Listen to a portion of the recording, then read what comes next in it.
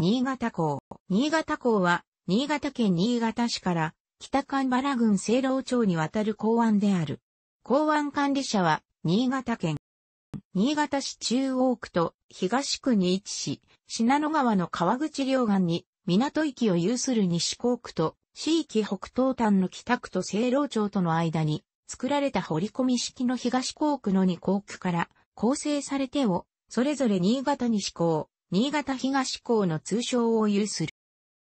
港湾法上の国際拠点港湾、高速法上の特定港に指定されているほか、日本海側では唯一の中核国際港湾にも指定されている。また、日本海側拠点港の内総合的拠点港と部門別では国際海上コンテナ、液化天然ガスの2部門の拠点港に指定されている。新潟港は江戸時代には北前船、明治維新直前には日米修好通商条約によって開港後港の一つとなるなど、歴史上においても日本海側の重要港として栄えてきた。現在は古くからの港で中央区と東区の信濃川河口両岸に港域を有する西港区、新潟西港と北区と清老町との間に作られた掘り込み式の東港区、新潟東港の二つの港区から構成されている。西港区は旅客、貨物ともに取り扱う。一方の東港区は旅客用の施設を有さない貨物専用広域で当初は工業港として開発が進められたが、後に本州日本海側最大のコンテナターミナルが整備、猿など商港としての機能が高まっている。古代から平安時代にかけて信濃川の川口部には、神原津、神原の津という港が栄え、物資の集散、旅人の往来が多く見られた。1616年には、長岡城主、堀直頼によって、港町としての基礎が構築。1671年、西回り航路の寄港地として、指定を受け国内交易の上で重要な地位を確立した。加えて1633年9月に発生した洪水によって信濃川と阿賀野川が合流し、川口部の土砂が押し流されたことによって、港の水深が深まり大型船が入港できる良港として映画を極めた。17世紀末期には出入港した船舶は年間約3500隻にも及んだという。1843年、新潟港周辺が天領となり新潟奉行が新設。1858年、日米修好通商条約で開港後港の一つとして北海岸開港場に指定される下地となった。実際の開港は推進不足や北越戊辰戦争などの影響で遅れ、1869年1月1日、明治元年11月19日にようやく外国船に開港、貿易が開始された。同年には、新潟運上所、後の新潟税関が設けられた。明治期は、対外貿易は振るわなかったものの、北洋酒ます漁船など遠洋漁業の基地として栄えた。しかし、川口港という条件が大きな障害となった。信濃川上流部からの流砂によって水深が浅くなることがたびたびあり、港の機能を維持するのに困難をきたしていたのである。1896年には、河口に導流堤を築くが、抜本的な対策には至っていない。そこで、国は、信濃川の治水対策として1909年に着工した大川津分水事業と合わせて、新潟港を近代港湾として整備するため、1907年に信濃川の河口改修事業に着手。1915年に着工された不当の修築工事と合わせて1926年に完成した。これに伴い1924年には山の下の民営不当が、翌1925年には龍が島の県営不当がそれぞれ運用を始めた。大川津分水の通水と信濃川の河口改修によって信濃川河口部では大正時代末期から昭和30年代前半にかけて埋め立て地の開発が行われた。事業は太平洋戦争を挟んで約四半世紀を費やし、川沿いの両岸を中心に行われた。中洲の所島やモズ島は右岸川と陸続きになり、右岸川に点在した宮浦池などの小規模故障が埋め立てられたほか、小品野川などの小規模河川は地下水路などに姿を変えた。これらの埋め立て地は都市機能と港湾機能の近代化に役立てられ、市街地拡大と港湾施設の拡充などに充当された。1929年には満州との航路が開設、1931年の上越戦前通で日本海対岸貿易の拠点港として本格的に機能し始めた。太平洋戦争開戦前の時点では日満航路が週5日、就航、東京から満州国首都、新京に至る最短ルートとして利用された。太平洋戦争の戦局激化に伴って太平洋側の航路が維持できなくなったことから、北海道産石炭、満州産大豆などの緊急受け入れ港として取扱量が激増。しかし、終戦直前の1945年5月中旬から8月にかけ、米戦略爆撃機 B-29 による機雷投下、さらに終戦直前には2度にわたる重爆撃を受けるなど、港湾機能が事実上失われたまま8月15日の終戦を迎え、新潟港の港湾施設自体には戦争による大きな被害はなかったものの、米軍による機雷封鎖と、それらに触来した沈没船が港内に残存したのに加え、春節船をも触来で失ったため港内の推進が維持きなくなり、これらは戦後の港湾復興を大幅に遅らせることとなった。機雷の総会作業は終戦後の10月から米軍の主導で開始されたが1946年6月で打ち切りとなり、1948年9月から海上保安庁が再開、1949年6月に校内の総会完了が公示された。その後1951年には日本海を漂流する機雷の大規模な総会が実施された。沈没船の処理は1946年から開始され、船体の栄光や撤去、解体が進められた。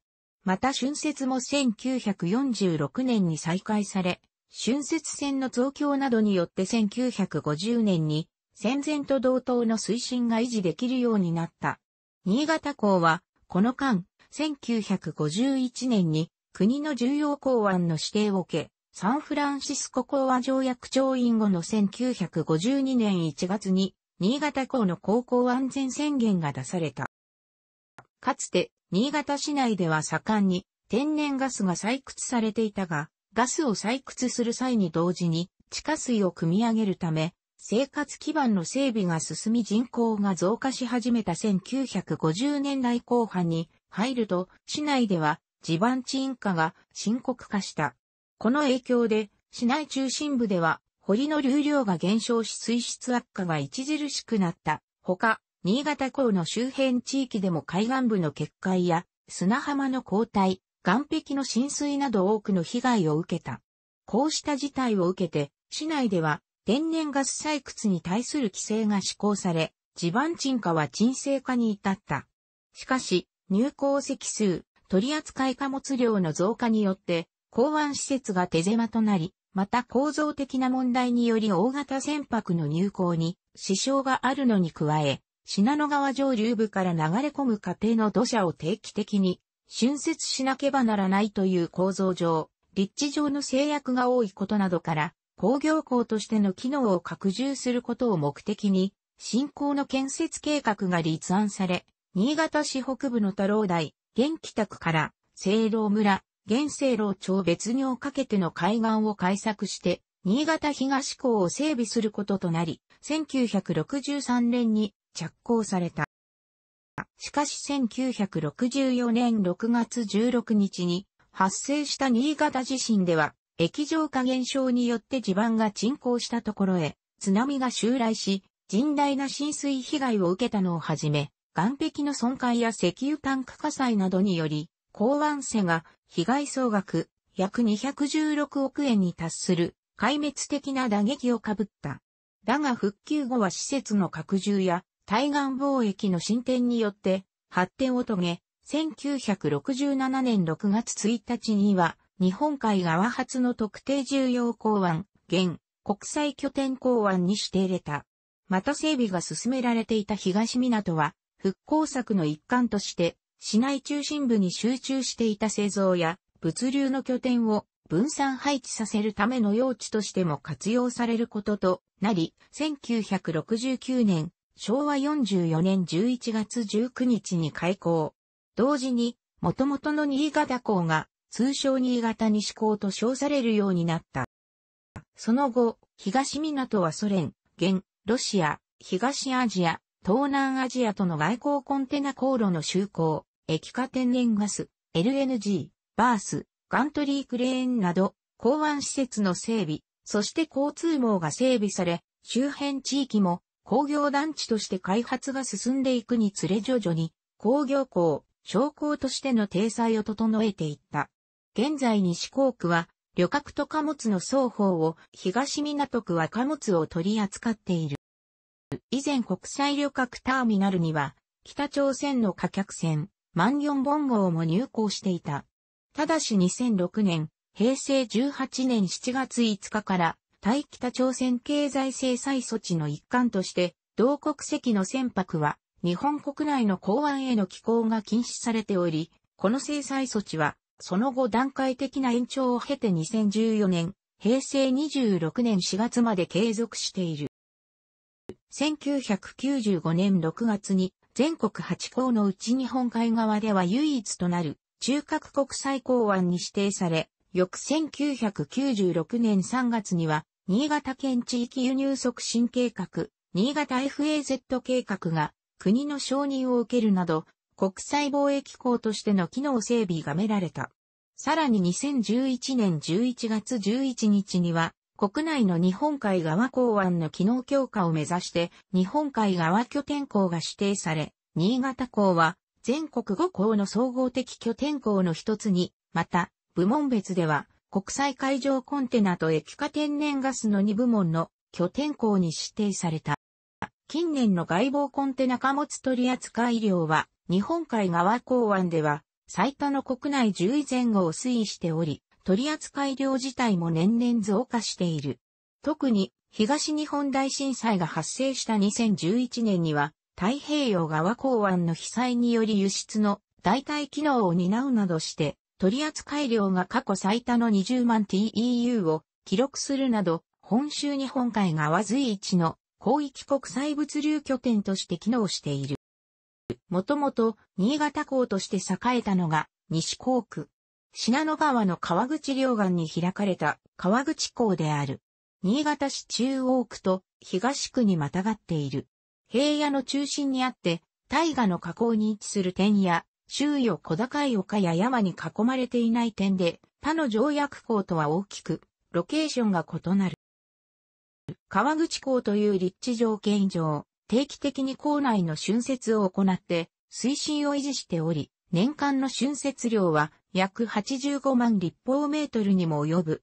春節した土砂の約7割は信濃川河口の沖合 4.5km の地点に海洋投棄され、残る3割は川口左岸側の入選処分場で埋め立て処分されている。しかし海洋投棄は海洋環境の保全という観点から国際法上は原則禁止となっており、西港区においては環境大臣の許可の下で特例として海洋投棄が継続されているが、その量は全国の春節土砂の年間海洋投棄量の内実に約7割を占めるに至っている。加えて、入選処分場の受け入れ量もすでに逼迫していることから、国、新潟県、新潟市では、東区の新潟空港沿岸部に、新たな処分場の整備を検討している。新潟県本土と佐渡島を結ぶ佐渡汽船の3、航路のうち、最も利用者数、取扱貨物量が多いのは、新潟両津間の両津航路。西港のモズ島埠頭にある佐渡汽船フェリーターミナルから発着しており、カーフリーで2時間20分、ジェットフォイル、水中翼船で1時間を所要する。また県外への長距離フェリー航路は新日本海フェリーが運航する北海道方面と関西方面への3航路があり、山の下埠頭のフェリーターミナルから発着する。なお、クルーズ客船が寄港する際、国内のみ、航行の場合は前日の山の下ふ頭、国外へ航行の場合は後日の国際旅客ターミナルが所在する中央ふ頭の発着となる。中央ふ頭近くには国際旅客ターミナルが設けられている。佐渡汽船、新日本海フェリー以外の旅客船は基本的に中央ふ頭からの発着となっている。2007年、韓国、即走、即著港から新潟港を経由して、ロシアトロイツァ、旧ザルビの港を結ぶ貨客フェリーによる国際航路、北東アジアフェリーの構想が明らかとなった。その後計画は進捗しなかったものの、2008年と2009年春の試験運行を経て、同年6月下旬に週1便のダイヤで就航した。今後は韓日本海の人的、経済的交流を後押しする新ルートとなることが期待入れているものの、使用船舶のリース契約の問題などもあって、運休が相次いでいる。かつては、ロシア沿海州のウラジオストクやナホトカを結ぶ航路が、夏季を中心に年数回運行されていたが、近年の寄港実績はない。また1959年から1984年にかけて北朝鮮への帰還事業が行われたこともあり、不定期ではあるが北朝鮮、元山から貨客船、万ン本号が入港していた。現在は2006年7月5日に適用された特定船舶の入港の禁止に関する特別措置法のたびたびの延長により2013年4月13日まで入港禁止措置が取られている。新型東港開港によって国際物流機能は大半が東港へシフトしたが、現在でも私有の臨港不当などを中心に取り扱いがある。かつて新潟県内では石油が産出されていた背景もあって、日本石油、昭和石油などが製油所を稼働していた。しかし施設の老朽化により、生成能力がコストに見合わなくなったことなどから、現在は JX エネルギー、昭和シェル石油とも輸送所として機能しているのみとなっている。このうち、昭和シェル石油は、新潟石油製品輸入基地の敷地内のうち、旧製油所跡地を活用して、発電出力 1MW クラスの太陽光、発電施設、新潟雪国型メガソーラー発電所を整備し、2010年8月31日に稼働を開始した。日本の石油元売り大手が商業用の太陽光発電に着手するのは初めて。総事業費7億円のうち半額を国が補助し、新潟県が約2億円、昭和シェルが約1.3億円を拠出して整備した。雲に覆われることが多く日照時間の少ない雪国でも効率的な発電が維持できるか、などを実証実験する目的もあり、県と昭和シェルは今後、この発電所を運用しながら様々な研究を進めてゆく予定である。このほか、JFE スチールグループ、新潟造船、日東紡績、北越コーポレーションなどが西港区周辺に製造拠点を置いている。東北電力は前述の昭和シェル石油の敷地に隣接して新潟火力発電所最大電出力約500メガワットを設けている。日本石油の周辺事業から派生した企業も多く、肥料、化学製品を製造するコープケミカル、原価タクラコープアグリ、エンジンや造船など、機械製造を行っていた新潟鉄工所などがそれに該当する。内新潟鉄工所は鉄道車用、除雪機械などを製造する工場を置いていたが、大山工場、合理化に伴って閉鎖し、東港工場、新潟鉄工所の経営破綻により、新潟トランシス、新潟原動機に事業が継承されているに、機械類の拠点を集約した。この大山工場閉鎖と、新潟港トンネルの工事進捗に伴い、1999年3月をもって、新越本線の貨物支線、東臨港線の内焼島駅東、新潟港駅間が休止となり東、新潟港駅北の臨港不等等に続いていい、引っ込め線も廃止、撤去された。モズ島不等に漁港区が設けられている。かつては遠洋漁業の基地として栄えたが、現在は沖合漁業と沿岸漁業が主体である。不島南側に水揚げ場が設けられている。不島には以前このほか、新潟市の管理による新潟魚市場も設けられていたが、老朽化が著しく、また農水産物の市場機能が市内4カ所に分散していた問題などからこれらを1カ所に集約することを敵に2007年5月、江南区明型日内で整備が進められていた新潟市中央卸売市場に移転統合された。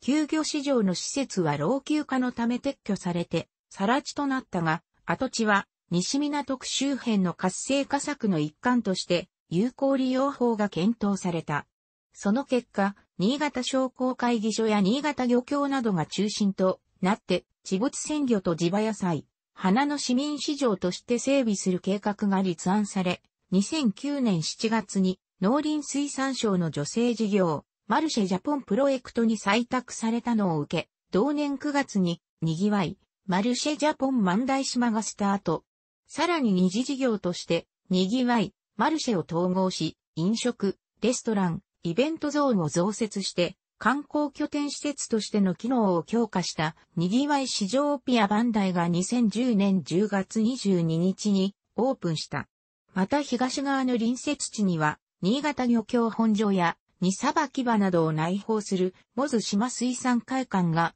新築移転し、これに伴い旧本所、トギメッセ向かいの構内に設けられていた産地市場、魚のふるさと万代は9月30日をもって閉店し、ピアバンダイ内へ移転した。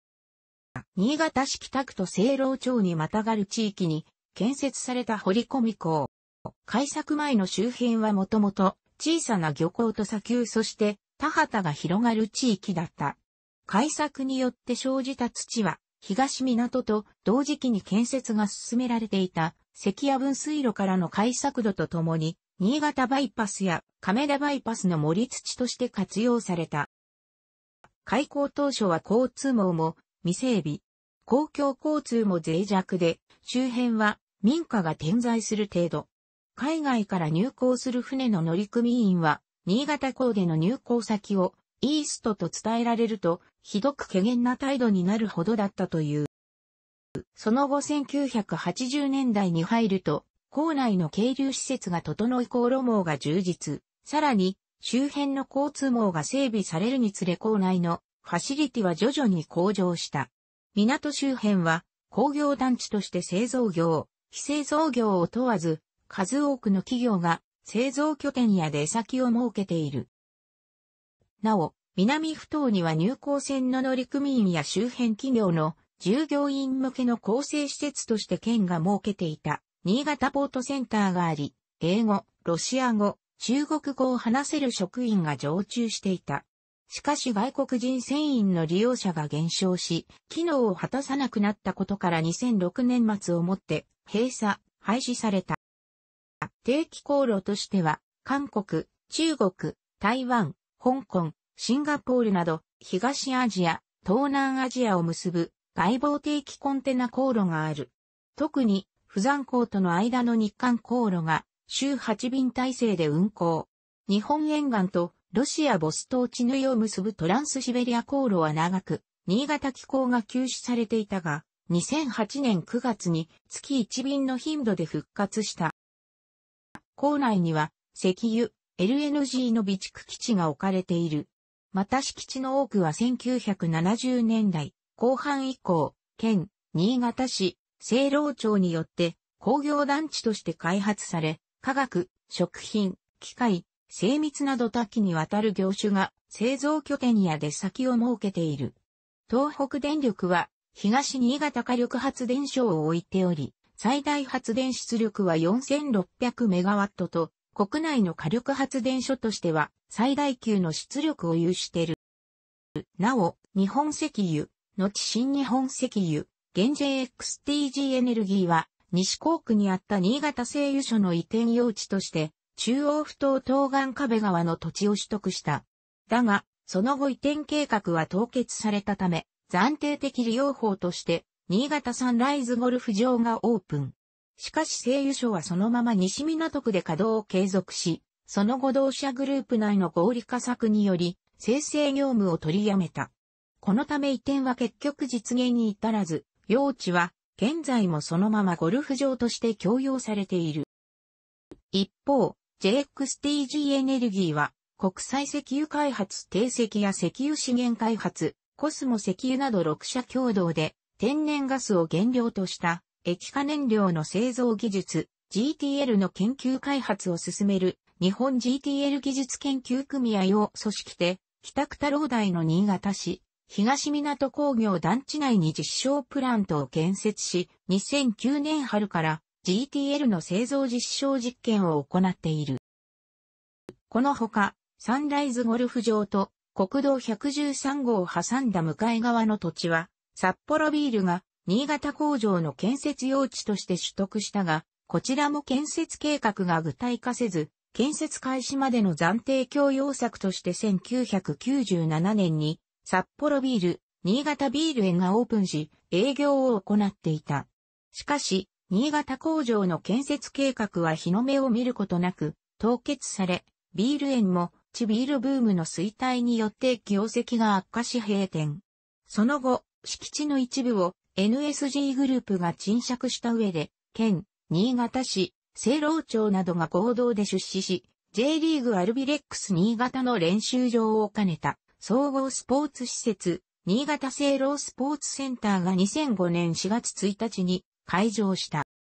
工業港、商港という性格上、港自体には観光的機能はない。東港周辺は、新潟市近郊でも随一の工業場としても知られており、新潟市北区側の太郎台地区や、清老町側の亀城地区を中心に、釣り船を出す網元や釣り具店が数多く出店している。しかし海上における人命の安全のための国際条約、SOLAS 条約の履行強化や、公展時の危険防止などを目的に、県は2004年から校内の立ち入り禁止区域を拡大するなど、規制強化に乗り出し、釣り場が減少した。だが校内に複数所在する防波堤や突堤は、周辺の中でも特に工業場とも言われていることもあって、立ち入り禁止区域でありながら、ゲートを乗り越えて侵入する釣り人が後を絶たない。特に北区側から伸びる全長 3.3km の西防波堤は、外海に面している上に、周辺水域の水深が深いため、沖合でしか釣れない魚も釣れることから侵入者が特に多いが、好天時には高波による転落事故が多発して死傷者が出るなど、非常に危険で、県では規制強化を進めている。その一方で、県は2010年夏から釣りの愛好者らが管理、運営する形で、防波堤を釣り場として開放できるかどうかも合わせて検討しており、7月と10月には、聖老町川の第二逃亡波堤、約640メートルを入漁料の徴収や監視員の配置、釣り人へのライフジャケット着用義務化など対策を講じた上で試験開放した。これに関し、新潟県知事の伊豆田博彦は10月の定例記者会見で愛好家が釣りをできる境を整備して、危険なところは立ち入り禁止を強化するなど、両面で考えることが必要と述べ、引き続き対策を検討する旨を表明した。楽しくご覧になりましたら、購読と良いです。クリックしてください。